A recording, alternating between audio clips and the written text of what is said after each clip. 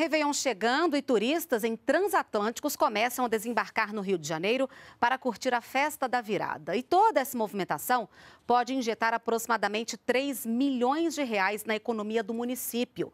E o setor hoteleiro também está otimista. Não é isso, Maurício de Almeida, direto do Rio de Janeiro. Bom dia para você.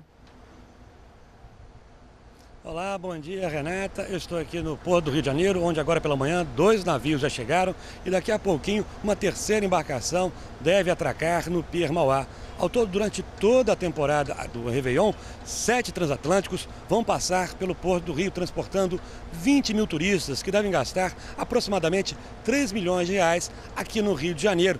Esses turistas também geram empregos, tanto que o Porto do Rio contratou 700 funcionários temporários que vão trabalhar durante toda a temporada de 2019-2020 de cruzeiros que chegam aqui na cidade. E uma pesquisa realizada pelo Ministério do Turismo revelou que o setor está otimista. O maior índice de confiança foi registrado aqui na região sudeste, onde os empresários revelaram que nos próximos meses pretendem investir em seus negócios. 63,1% dos empresários falaram que pretendem fazer novos investimentos até março do ano que vem.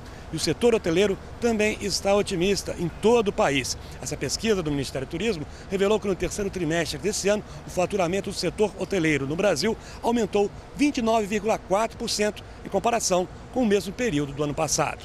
Renata. O dia está bonito por aí, Maurício. Muito obrigada pelas suas informações. Bom trabalho.